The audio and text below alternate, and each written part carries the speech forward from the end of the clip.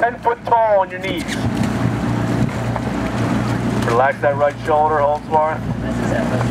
What goes up must go down. If you uh, if you jack that shoulder up at the catch, it's gonna fall away at the finish. Gosh, don't move your seat until you get some angle.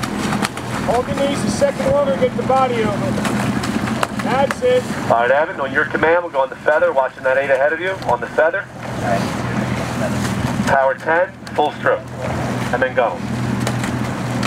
Put it together now, put it together, feel the connection at the front end. You guys in the middle four that have done this twice now look much, much better.